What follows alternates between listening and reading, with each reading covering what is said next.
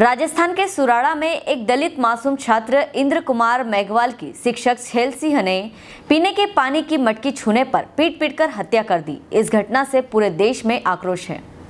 हत्यारे शिक्षक को फांसी की सजा की मांग को लेकर मध्य प्रदेश अनुसूचित जाति, जनजाति अधिकारी एवं कर्मचारी अजाक्स संघ के जिला अध्यक्ष प्रेमलाल कोठारे के नेतृत्व में प्रधानमंत्री के नाम तहसीलदार नितिन चौहान को ज्ञापन सौंपा गया।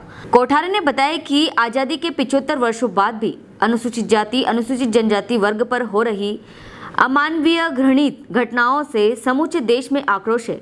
मानव जाति को शर्मसार करने वाले ऐसे कलयुगी शिक्षक को फांसी की सजा दी जाए। पीड़ित परिवार को एक करोड़ रुपए मुआवजा सहित परिवार के एक सदस्य को शासकीय नौकरी दी जावे। मुंदी से नवाब खान की रिपोर्ट।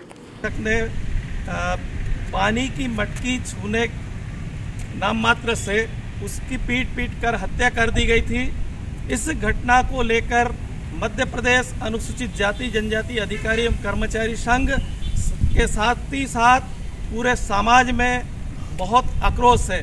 और इस आक्रोश को लेकर सभी सामाजिक संगठनों एवं मध्य प्रदेश अजाक्स संघ जिला इकाई खंडवा के नेतृत्व में आज माननीय कलेक्टर महोदय खंडवा के द्वारा माननीय राष्ट्रपति जी, माननीय प्रधानमंत्री जी और गृह मंत्री जी को हम ज्ञापन दे रहे हैं और इसमें हमारी यह मांग है कि छात्र इंद्र कुमार मेघवाल, जो कि नौ वर्षीय छात्र था, उसे वहाँ के शिक्षक छेल सिंह ने पानी की मटकी को छू लेने के लिए इतना मारा इतना मारा कि उसको तेईस दिन तक उसका हॉस्पिटल में इलाज होता रहा, आँख सूज गई और उसको ब्रेन हेमरेज तक हुआ।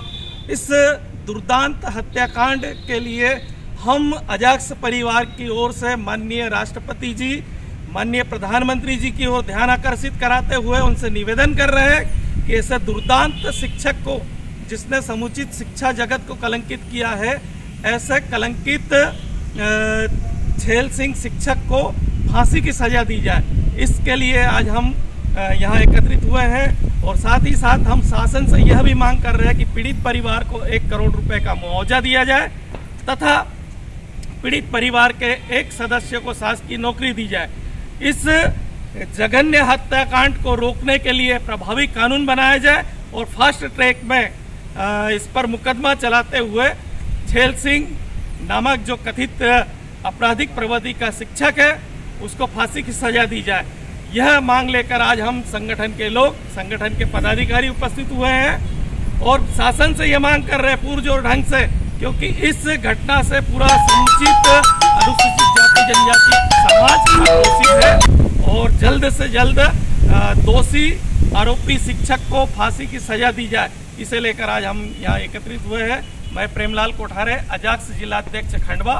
मेरे साथ समस्त अजाक्स हेलो फ्रेंड्स आप देख रहे हैं हमारा channel S W twenty four news हमारे सारे वीडियो सबसे पहले देखने के लिए आप हमारे चैनल को सब्सक्राइब करें और पास में लगे बेल आइकन को दबाना बिल्कुल भी ना भूलें।